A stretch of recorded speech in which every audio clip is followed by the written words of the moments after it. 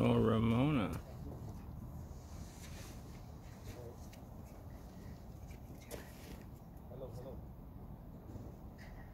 How far will he swim?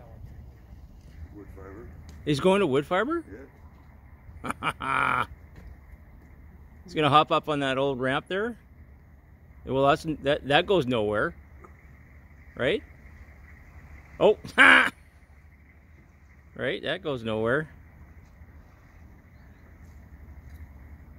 He looks like a big wet dog now. Is that your bear from up the hill?